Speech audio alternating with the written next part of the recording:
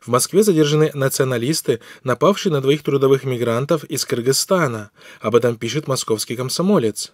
26 июля на улице Малые Каменщики в городе Москва трое неонацистов, 19-летний консультант магазина спортивных товаров Константин, все имена изменены, 18-летний Григорий и 17-летний Антон, прогуливаясь в сквере, напали на проходивших мимо них двух мигрантов из Кыргызстана.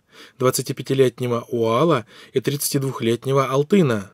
Одному националисту якобы показалось, что мигранты враждебно настроены. Один из нацистов достал газовый баллончик и распылил им в лицо кыргызстанцев едкую жидкость. После этого началась потасовка, и трое приятелей вытащили ножи и начали наносить удары, в результате чего Уал скончался на месте, а раненый Алтын чудом выжил. Спустя неделю личности преступников удалось установить, и оперативники нагрянули домой к молодым людям.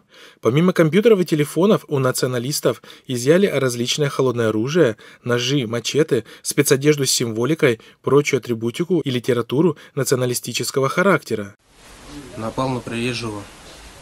Примечательно, что самым ярым приверженцем ультраправых взглядов и известным в узких кругах националистом оказался самый младший из задержанных. Среди единомышленников Антон имеет прозвище «Белый».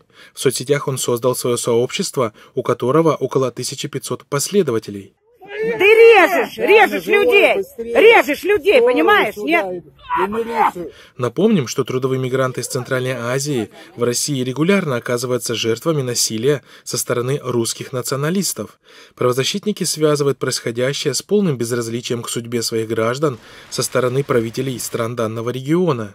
Друг ваш, который ранен, он в больнице сейчас госпитализирован? Да, его забрали. Травма насколько серьезная, что с ним не знаете? Да, на руках попал нож. Мой, мой друг, который умер, да, он каждый день мы с ним общались на работе вместе.